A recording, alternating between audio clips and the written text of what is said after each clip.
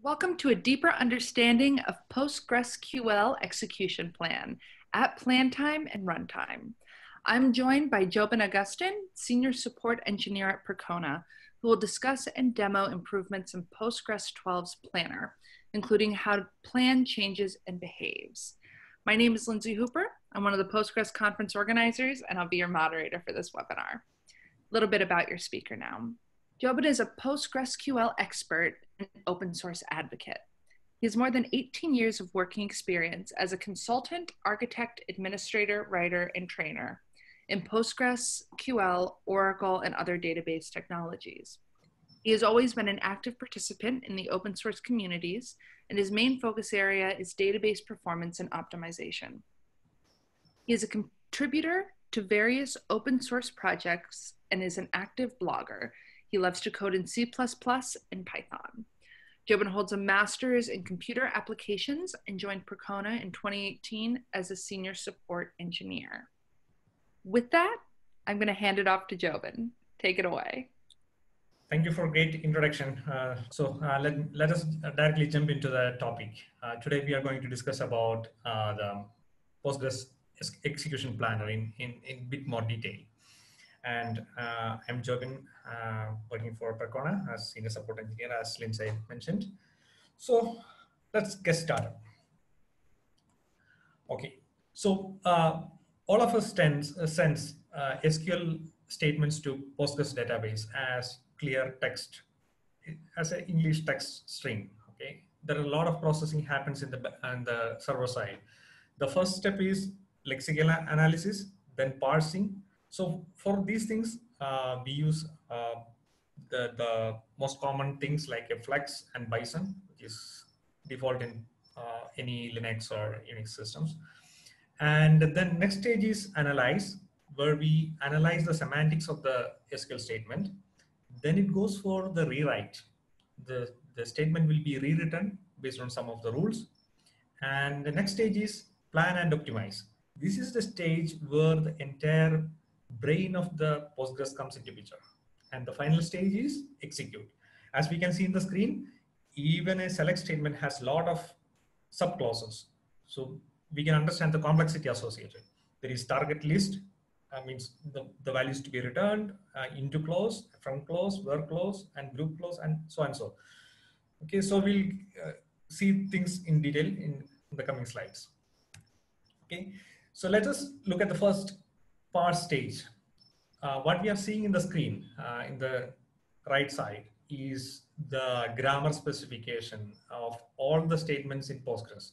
So we have around 124 types of statements.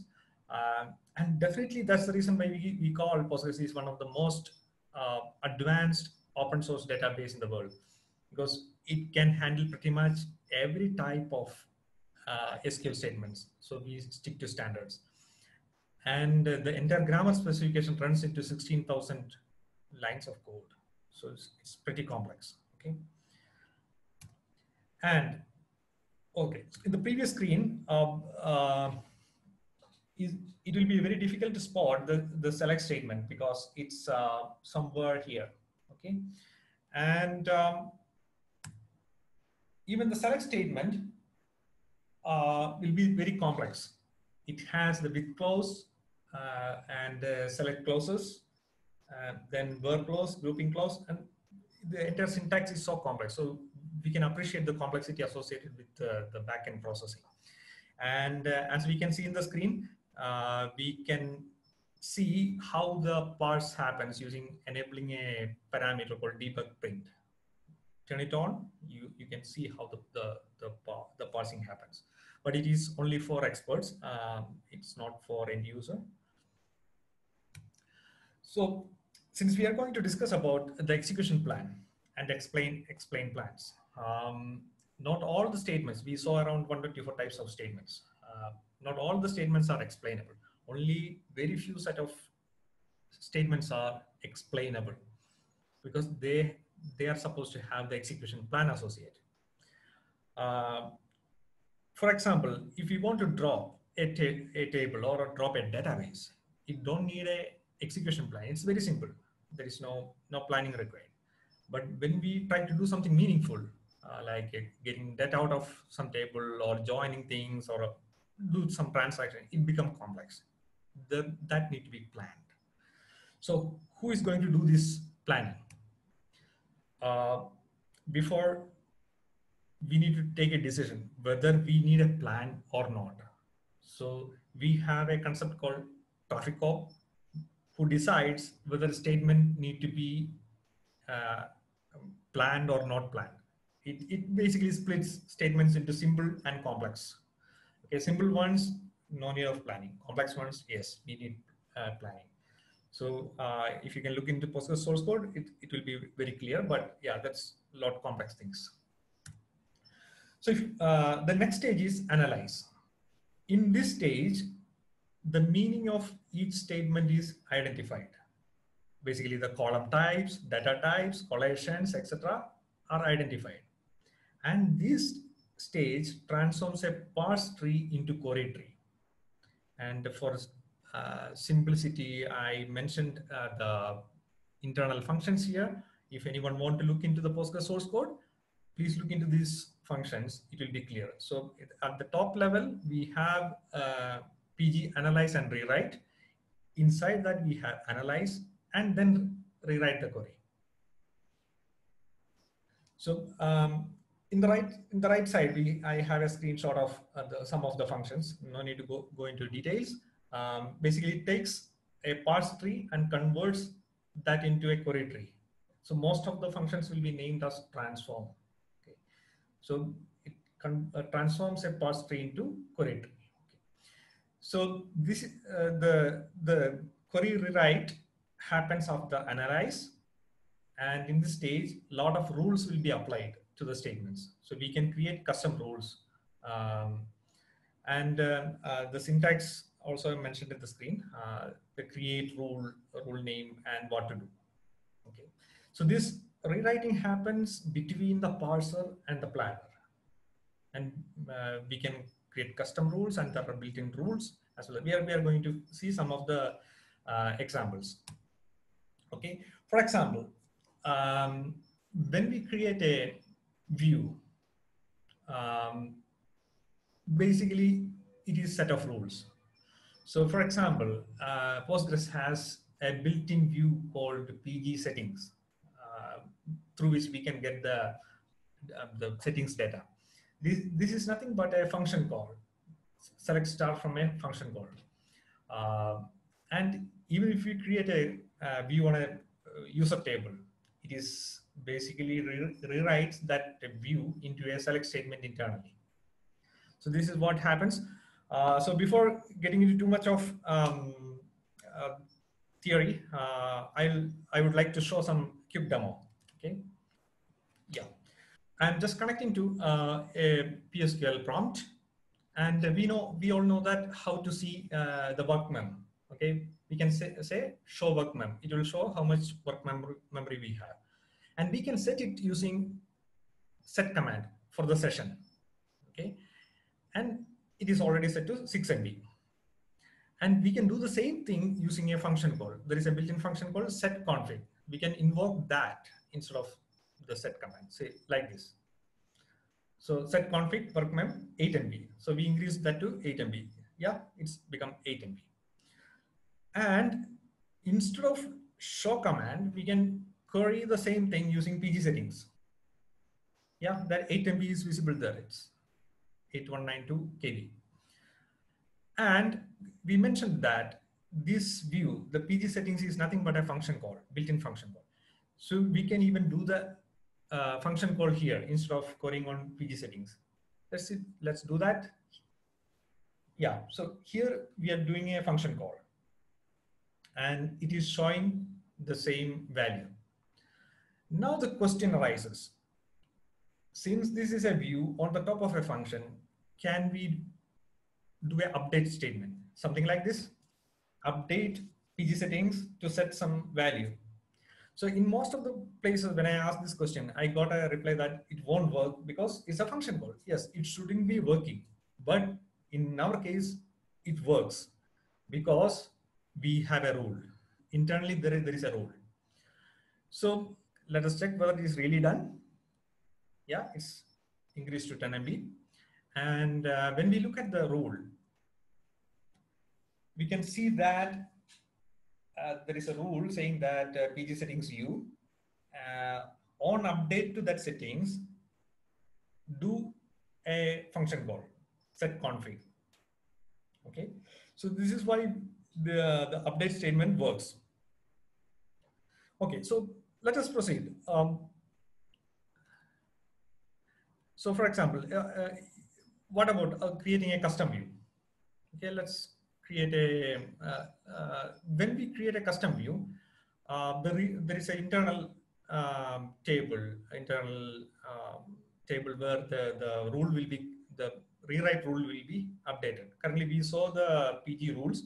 Similarly, we have PG rewrite table. So I'm just taking the count of uh, records there. It is 131. And I'm going to create a table and a view on the top of that table. Now, if you look into the, the number of uh, the rewrite rules, one is incremented. It becomes 132.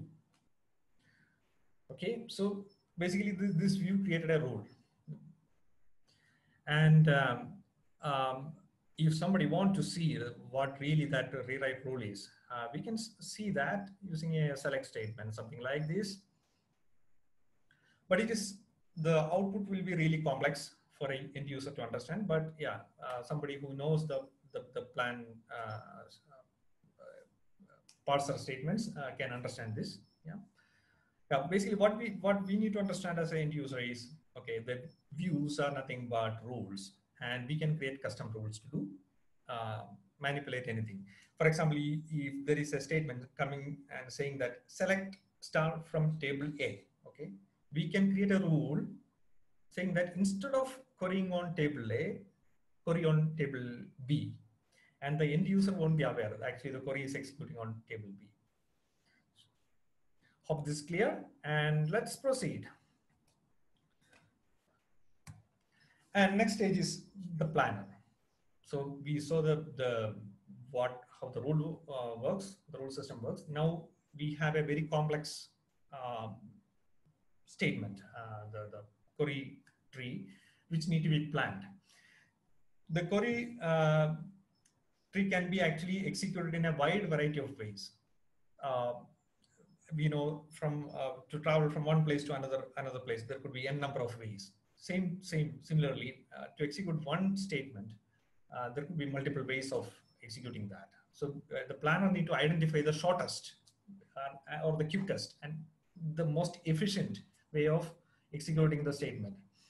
So the planner is that intelligence, uh, intelligence system, okay? And how it does is, there is a internal data structure called paths. These paths are cut down versions of plans. We talked about the query plan, the, the, the, parser tree, uh, and then uh, query tree. Now we are going to get into the plan trees. So the paths are uh, cut down versions of plans. And from there, the cheapest path is selected. And after all this planning phase, a full-fledged plan tree will be prepared. And how it is prepared is based on cost-based analysis. We are going to see details of that. The last uh, phase of a, a, a, SQL execution is executor. So once we have the uh, SQL, uh, the plan, uh, the plan tree properly, we can just execute. The plan nodes are executed recursively from top to down. Uh, and the top node can return the result.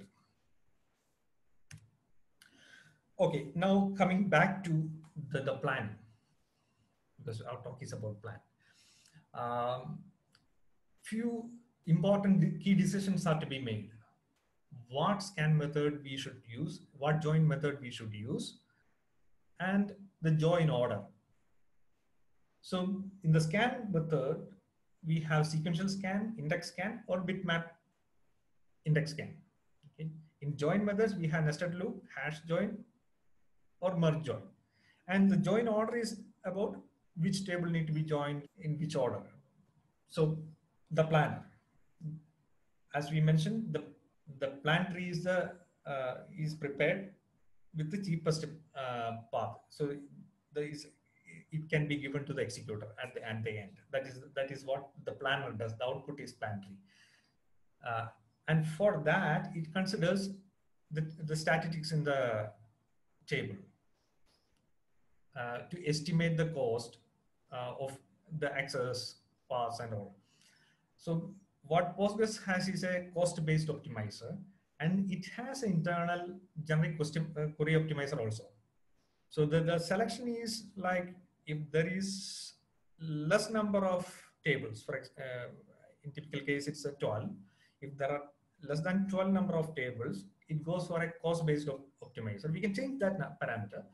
Uh, otherwise, it will go for a genetic query optimizer because uh, when we have a lot of tables involved in um, in the query, there could be multiple paths. So all the all the combinations of uh, executions, uh, analyzing that will be complex.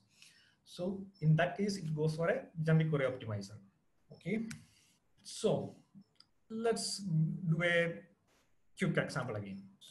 So let's create a table. Okay. Um, I'm creating a table with the company ID, company name, and company type. And uh, creating an index on that and starting a transaction. Uh, uh, then we are going to insert a um, lot of around 5,000 um, companies with the company type one and just five companies with the company type two and commit the transaction. Now, if you query this table for company type one, we get a bitmap heap scan. And when we query for the type two, there also we get a bitmap heap scan, bitmap index scan and heap scan. So we know that these values are highly skewed. skewed. Um, we have around 5,000 number of uh, company type 1 and uh, only very few company type 2 are existing. But we got exactly same execution plan. And, but say the plan looks same. But if you watch closely, there are a lot of things different here. In the first case, uh, the heap blocks extracted is 28 and in the second case, it has to get only one heap block. And then, then, then the number of rows returned by the index.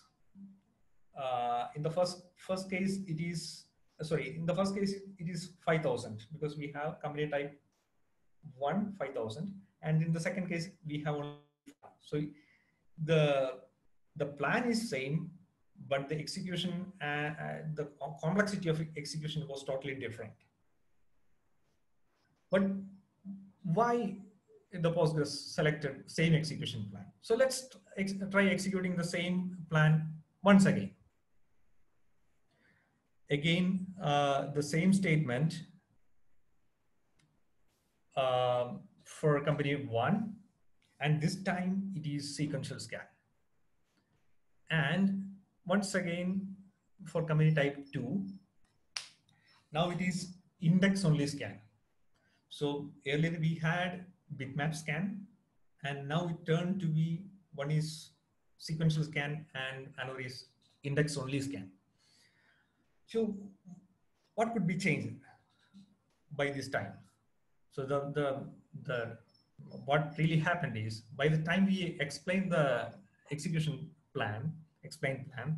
Uh, the the background, uh, the the analyzer, uh, the, the auto vacuum uh, done the analysis of the table, and we got more statistics about the table. Now our plan become more intelligent to take a bit more accurate, uh, better plans. Okay, that's what really happened. So why this bitmap index scan in the first place? Is it optimal plan? Uh, no, actually the bitmap scans are is kind of a compromise. So uh, it stands in between sequential scans and index scans. So when there is generally, if we uh, see this uh, bitmaps, uh, heap scan and index scans happening. Um, most probably the statistics need to be collected or we have a situation where we are in between, really in between. Okay, so that's a smart, uh, it's a uh, smart selection when we don't have much of information and or the information is uh, in uh, not not favorable for sequential scan or index scan. So what is that index, index scan? So to understand this uh, entire stuff, we need to un understand the index scan. So fetch one tuple point at a time from the index. So as we can see in the screen, the, the blue box is the index uh, from the, it's a B-tree index. So it need to be scanned and then it, then it visits the table and pulls up the, the tuples. This is what happens in normal index scan. And there is one more thing called index only scan. So in that case, we don't have to again visit the table. The information is available in the index itself. So data can be directly pulled out. That's what we, we saw uh, in, in our example. And the sequential scan is scan from one end to the, uh, another end, uh, another end, discarding all the unmatched rows. That's that's sequential scan. And the bitmap index scan and heap scan. This is slightly more complex because we need to do the index scan first and uh, get all the data and sort it. Now, once it is sorted and in memory, we, we know what are the heap pages you need to access to get the data. Uh, so the heap pages are visited again, and in many cases there will be a recheck for, say because we are getting the, the, the pages, it need to be rechecked uh, to get the final results. So the final result will be given to the client. This is what happens in bitmap index and heap scan. So the advantage of bitmap scan is uh, we know that the, the the index is scanned and the data is collected and it is sorted and then goes to the, the heap page and uh, it it orders the, the scan. So uh, block by block. So it improves the locality reference in to the table. So it, it, it collects all that all the information required from one one block, then goes to the, another block. Then that's really good, thing about bit, bitmap scan but there is disadvantage. We need to keep all the information uh, about this bitmap structure in, in memory.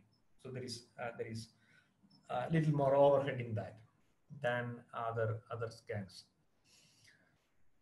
Okay, and uh, another side impact is the um, data is uh, not retrieved in the order.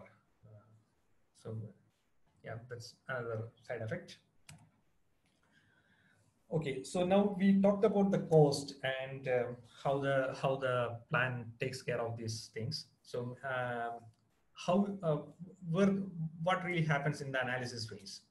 So we, we saw that the auto vacuum in the background done the magic. Uh, the auto vacuum gathers the statistics and it stores the information in PG underscore statistics uh, pay, uh, the table and there is a view called PG stats where uh, the users can query and find out what, what, what is the current information about um, uh, the table and uh, details like that.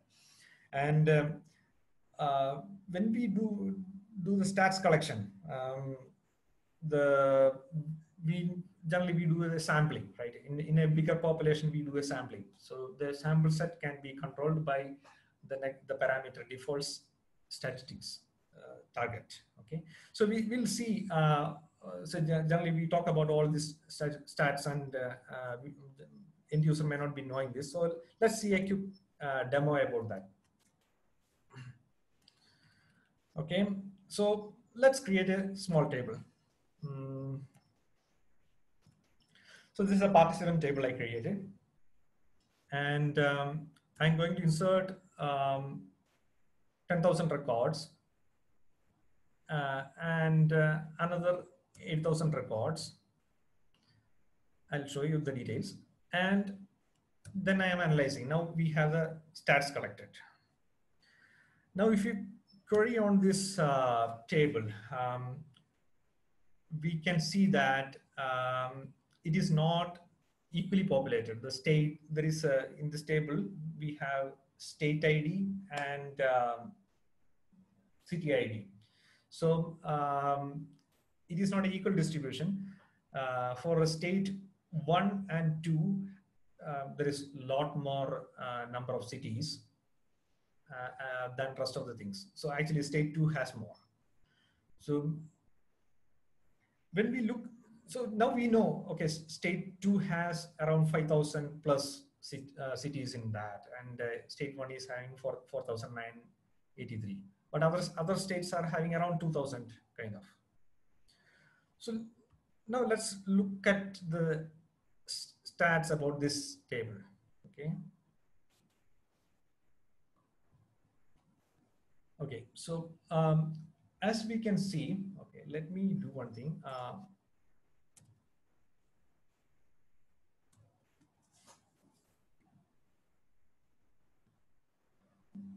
there are there are um, common values. Most common values are uh, taken, and its its frequencies are uh, recorded in the table. So this is what happens when, when we collect the st statistics. So the most common values and its, its frequencies are updated for the city ID column. So we, for, for what are the common city IDs?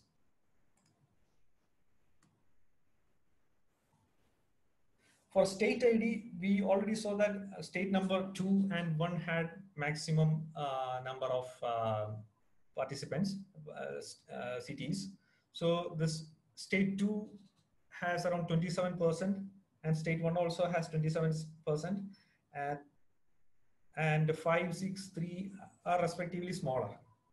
So we have for a, we currently we have the statistics, statistics in the system that uh, state two has maximum number of um, cities uh, so that the chance of uh, getting a record for state two is higher. So the, the filtering and the number of records returned from this table can be calculated based on this stats. Okay, so I hope this clear. So coming back to uh, the presentation, now we saw um, uh, the uh, what is the stat, stats all about. Mm, we have um, most common values recorded, and there are uh, other things like histograms and all. We'll talk about that later. Yeah, so it is collected by the uh, auto vacuum worker and uh, it happens in, in, the asynchronous fashion in the background uh, while the system is up and running as a background worker. And it results in better execution plan and we can have a very effective cost-based uh, plan system because of these uh, stats. But in the negative side, there is a overhead in collecting the stats and maintaining that.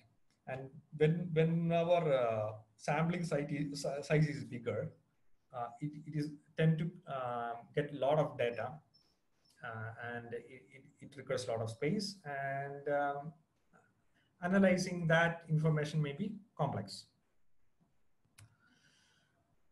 So that's a negative side. So next, the, the join part, uh, nested loop joins. So this is the most simplest thing uh, uh, anyone can do uh, through a loop, join the two tables. So um, the right side relation, the right relation is the right side, right side relation is scan once for every row found in the, uh, and the corresponding left relation is joined. This works great if the, uh, the if there is index scan possible in right relation because that that become more efficient because every right side relation need to be joined with the left side. So that's a the uh, explain execution planner will select this nested uh, loop join in such conditions. And next is hash joins. These are very good for eq joins. So basically both because the, the values are hashed and joined. So and it can work uh, uh, happen in memory and if the, the records are, the number of records to be joined is small, it can happen in memory. And this is the more, one of the fastest way to join the tables. But what happens if uh, the number of uh, records to be joined are not fitting in memory? So it need to be um, it need to be spill uh, going out. Uh, the, so for it does a different strategy there. So uh, the merge join comes into picture. So in that case, the, the results are sorted first and then joined. So uh, here also it's almost like equi-join. Uh, and it can create um, temporary files. So if, if there is merge joins, uh, we need to think about uh, are we are we uh, dealing with large amount of data? Can we reduce the amount of data uh, in the joins? Okay, so uh, coming back to the cost. So the, uh, as we mentioned, the cost decides the execution plan. Um, and um, uh, so the the key point is the the cost the numbers associated with the cost don't have a unit associated is just a number uh, for comparison. So the when we compare uh, the value one means uh, the cost of sequentially accessing a page is one. Then compare that with other other other things. So we don't need a unit associated. Okay the and we have certain parameters by which we can control the cost. So basically we need, we, can say what is the sequential page, uh, page cost or random page cost, uh, CPU tuple cost or CPU index cost. The, C, the sequential page cost is the cost associated with scanning a page sequentially. And if it is randomly accessing, it is random page cost.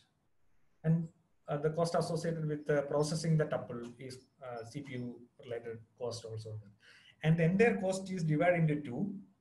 It's a there is startup cost and runtime cost, run run cost.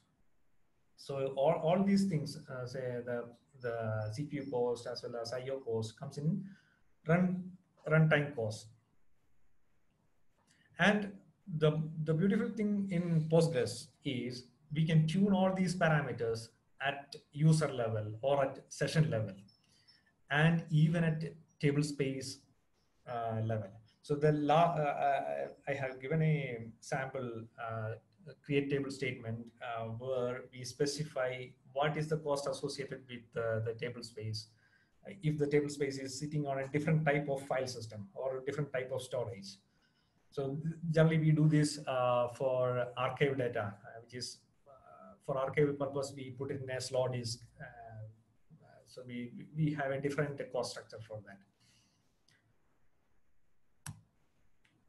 Okay, so um, uh, we we saw the most uh, common values um, uh, related stats, um, and we have a similar similar uh, kind of um, costing model for uh, histogram as well. So let me show you something quickly. So I, I, I uh, dropped and created one table and inserted one uh, set of uh, records and analyze the table. And now we can see uh, the histogram associated. Now we have around uh, 2000 um, records inserted and it is equally distributed. So um, in the histogram bounds, we can see 120, 40, the, the, the, the, that is equally distributed till 2000. So um, this the distribution histogram gives a, an idea, okay, how the data is distributed.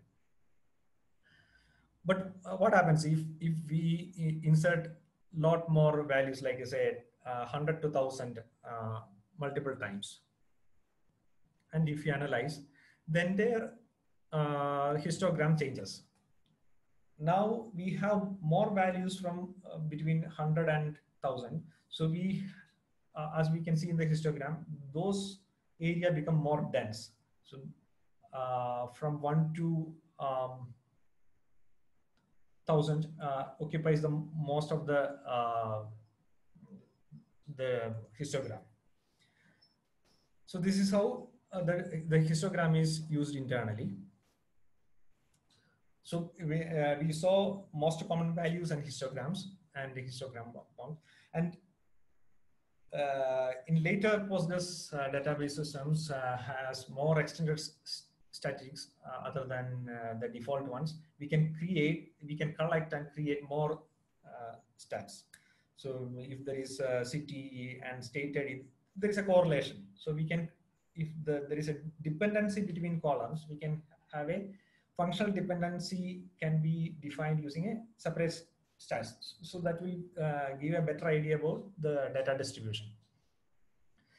And um, we can add uh, the distinct values by, so this will uh, collect more uh, data about the distinct values. And um, we have a multivariate uh, um, stats.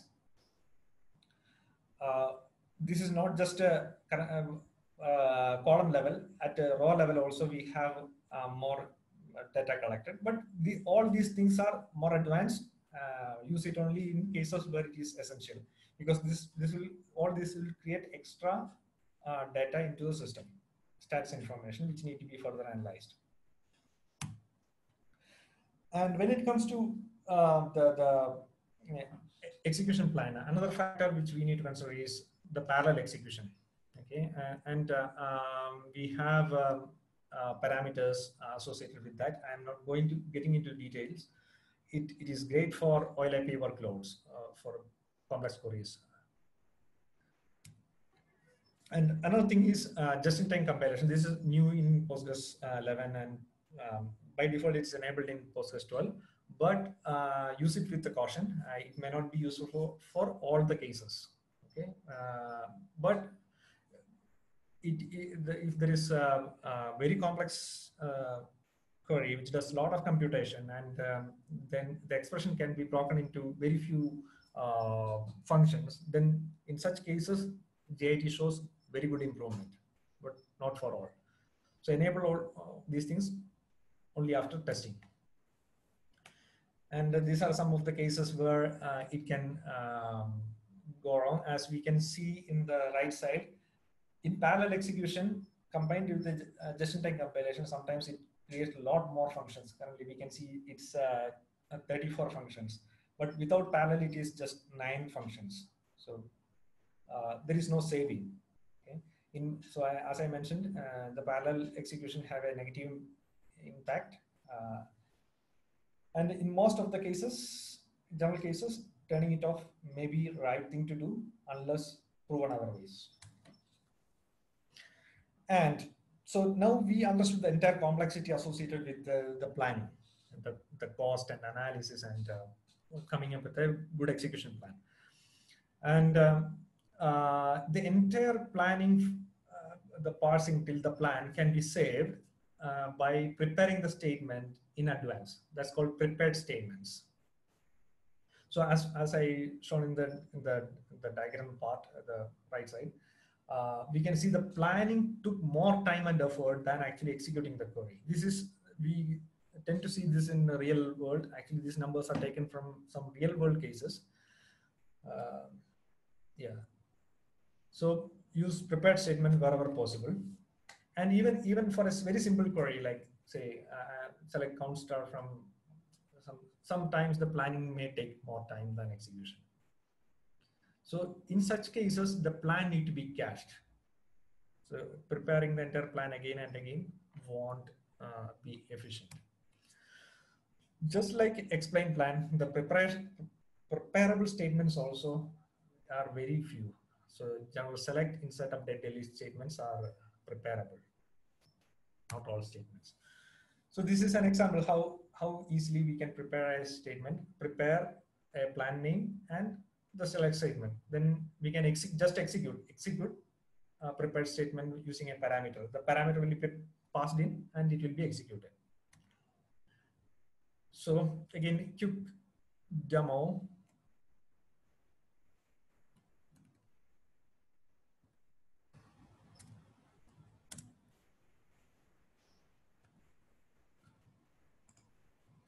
So uh, we are selecting uh, uh, the company type one as we know, it's a sequential scan. So now the question is, we already know that it, it, it, keeps switching the plan. So it was sequential scan, now it is index scan for uh, uh, company type 2. It goes back to the sequential scan again if, if it is company 1. And this is the advantage of planning it uh, at uh, planning every time. But what happens if there is a uh, prepared statement?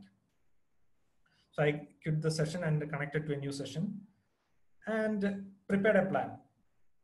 Now, if I execute plan uh, a statement, okay, when for a sequential scan. But now the question is whether it will change back to more efficient index scan if the parameter is 2. The answer is yes, it switches. So the there is uh, the uh, prepared statement, uh, the last stage of planning is still happening, uh, even if it is a prepared statement. If it switches back to the original plan sequential scan again and back to index scan. So uh, we need to understand this. So lexic analysis, parse, analyze, rewrite, all these things are removed, but final plan and execute is still remaining. So now, uh, if we uh, execute that uh, statement repeatedly, what will happen? So again, prepare the statement and execute the same statement multiple times, five times. And all the five times it was sequential scan. And now if you execute for the plan uh, for a, uh, with the uh, parameter two, it is not actually switching the execution. It's still showing a sequential scan. So why it is happening? Why it is happening is this one. If the rule is if there is five or more execution which produces a plan whose estimated cost is more expensive than the generic plan, then the generic plan is selected. So that's, that's the reason why it was not switching the plan in that case. But the reverse won't happen. Say, for example, I am quitting the terminal and if I execute for the plan two, it is index only scan multiple times. But if I execute the uh, for parameter one, it switches back to sequential scan. So uh, what, why it is happening is the, the, the customer, custom plan for each of these cases uh, is so cheaper than the generic plan. So it, it goes for the custom plan. So uh, these concepts, the custom plan and generic plan, it's uh, uh, need to be understood when, when we deal with the prepared statements. And the, uh, the, the five times repetition was there before Postgres 12. And in Postgres 12, we can control this. We, we have uh, no need to wait for five executions for a generic plan fix. We can set it uh, force generic plan or force custom plan. Okay, this is the Postgres 12 feature um, by which we can control the, the behavior. I don't have time to uh, go for demonstration. And another uh, question generally comes in is, um, is uh, we saw the, the prepared statements. Uh, is the functions, the, the PLSQL functions or uh, SQL function. So in this case, we can we can see that the same thing is implemented as a PLPG function, and the next one is an SQL function. Uh, is this better or the prepared statement is better? Uh, so uh, the, the thing is, PL/pgSQL can handle a lot more complex business logic and it has a lot uh, internal optimizations done. Uh, it can hold prepared statements. So even though the PLPG SQL execution engine is separate, effectively in many cases, PLPG SQL engine gives a better result because instead of manually um, doing that. But definitely the prepared statements are far efficient because it's cached at the session level. So if prepared statements are not possible, preferably you may have to look into whether PL/pgSQL is better. Uh, and uh, the SQL functions are don't have any any caching mechanism. Generally, we see the uh, poor uh, preparedness. but yeah, all these things need to be tested in your specific cases, but just be aware that these are the options available to be tested. Yeah, so I just mentioned uh, the, uh, the PL/pgSQL interpreter parses the function source text and produces an internal binary instruction tree. Uh, when the, for the first time of the function is executed. So that, that's why it, it, it speeds up, okay? And what, what is there in um, Postgres 11 and 12 uh, when it comes to the dynamic nature of execution plan? So um, even after preparing an execution plan at the runtime, at the at the execution time, some of the steps won't be executed. Uh, as as I hi highlighted there, uh, few of the scans on few of the partitions are never executed based on the value, based on the uh, the join condition and all. It will it will be skipping. And in Postgres, to, uh, in the uh, uh, Postgres 12 case, in the bottom slide, we can see that in many places the append uh, stage itself is removed in Postgres 12. So it's a smarter uh, way of preparing execution plan. So at the runtime as well as uh, at the plan time, there are a lot, lot more optimization happens with the newer versions of Postgres, uh, Postgres 11, 12, and still Postgres 13. We have more option to analyze things. Um, so there is, uh, we all know that we can look at the buffers uh, of explain plan um, during analysis, uh, analyze buffers. In Postgres 13, we have to we have the provision to see how much of effort is there in the planning, uh, how much of shared hit happens in planning phase, and um, this uh, details will be visible if the format is JSON, and the normal text format will have single line where, where it is uh, varied with the, with the least information.